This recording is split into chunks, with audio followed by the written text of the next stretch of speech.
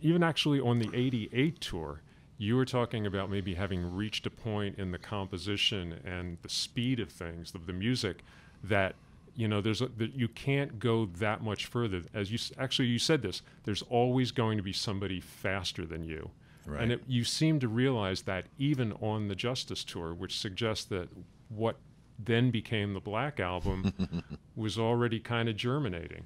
I know? agree. I agree that you know competition's a great thing. Uh, you know, we were f- fueled by a lot of hatred and a, a, and a lot of fear that we weren't good enough.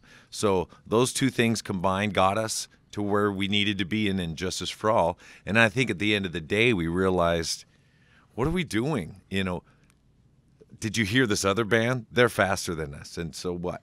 You know, so what? You know, what else what else do we got? We got, you know, let's let's get let's make it more muscly. Let's make it more powerful, you know.